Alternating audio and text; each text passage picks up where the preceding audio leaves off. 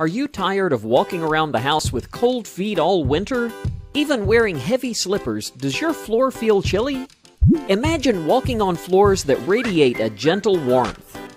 You can experience that luxurious comfort with warming systems. You can have an electric warming system installed beneath the surface of your floor. It will simply radiate heat to warm the floor and the objects in the room. Your body will no longer lose heat to the surrounding objects, which will make the area very comfortable and cozy. Whether you're alone reading a book, enjoying conversation with friends, or watching a movie with family, this comfortable room is the place everyone will want to hang out in. One surface that can really benefit from warming systems is tile. It's inherently cool to the touch and can make a bathroom or any room it's installed in feel cold and uncomfortable. The floor and objects around you absorb radiant heat from you, making the room feel uncomfortable and chilly. Warming systems will really make those tile floors feel warm and cozy. We offer three easy types of installation. First, the mat system is ideal in rectangular or square spaces without irregular corners or curves. The mat heating system consists of a commercial grade mesh material with the heating elements spaced 3 inches apart. When installed, it's unrolled and laid across the floor area you want to heat. The tape on the mat is double sided, so you peel off the liner and affix either side of the mat to the floor. Cut the mesh of the mat to fit the area you want to heat. Second is the cable system, designed for installation in spaces with irregular corners or curves or perhaps in a room with permanent fixtures you must go around. The cable heating system comes with wire on a spool. To install, the cable is unrolled and laid on the floor 3 inches apart across the area to be heated. The wire is secured to the floor using the included plastic cable guides. The third option uses the Prodeso heat cable membrane to install our cable system. Identical to the Ditra heat membrane, you can install the Prodeso heat cable membrane system directly over the entire subfloor. This eliminates the need for backer board, and the height of the membrane is less than a quarter inch, which allows for a very low profile. Install the floor heat cable in areas where heat is desired, and the floor surface can be laid right on top of it. No additional steps are required. Both our cable and mat floor warming systems can be installed on top of the subfloor and embedded in a cement-based mortar before the floor installation. We partner with industry leaders like Honeywell and OJ Electronics to offer the latest in thermostat technology, including touchscreen and Wi-Fi models. Simply program the digital thermostat to warm the floor and relax in cozy luxury. Enjoy peace of mind knowing our systems are UL listed for the US and UL tested to Canada's CSA safety standards. Experience for yourself the luxurious comfort our warming systems can bring to any room.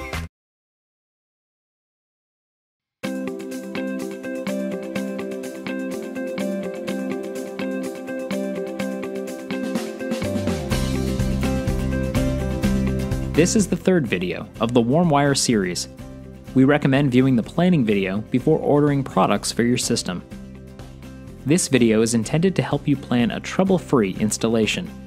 It is not intended to replace the instructions provided in the manual. Please read the WarmWire and SunStat manuals before installing. Make sure you have your layout plan and the site is ready. The floor should be completely free of anything that can puncture the wire. If you plan to use self-leveling underlayment over the wire, make sure the floor is primed before installing the wire. Outline any fixtures or built-ins that are to be installed later. Before installation, use a multimeter to test the warm wire and sensor. If your electrician is on hand installing the power supply, they can perform this test for you. Set the electrical meter to the 200 ohm range and measure the readings between the black and white wires. This will be black and blue for the 240 volt warm wire. Record the ohm reading in the out of box before installation table in the installation manual. The number should be within the range printed on the nameplate label. Next, measure the resistance between the ground wire and the black lead. It should display as open or will look the same as when the test leads are not touching anything.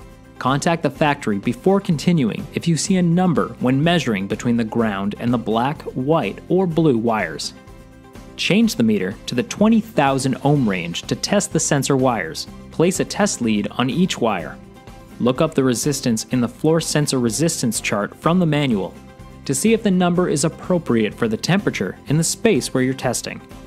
Select the thermostat location and have your electrician install the appropriate electrical box.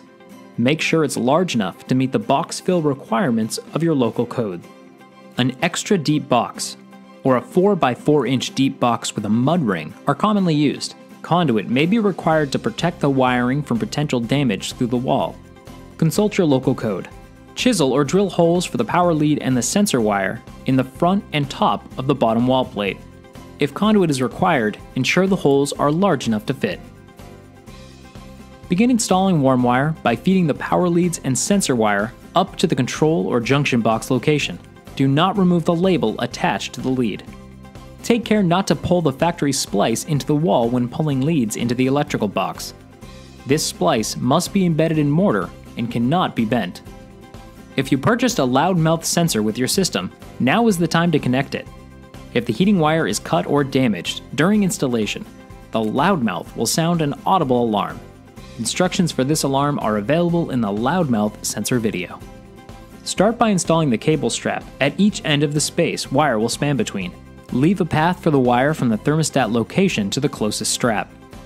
Cable strap can be cut using metal shears. Place strapping at the edge of the toe kick in front of sink cabinets. Near walls where people do not stand, and where trim board may be installed, place strapping 3 inches from the wall. Do not install warm wire inside closets or under built-ins. Wires must not cross each other and should never be closer than 2.5 inches. Attach cable strap to the floor using two-sided tape, spray adhesive, or short screws. Additional rows of strapping should be installed for spans wider than 4 feet. For layout examples, refer to the warm wire manual. Depending on the thickness of the mortar used, it may be necessary to chisel out a portion of the subfloor to recess the factory connection. To secure this splice, apply hot glue to the floor. Place the wire under the first tab. Bend each tab to secure the heating wire in place by hand. Do not use a hammer.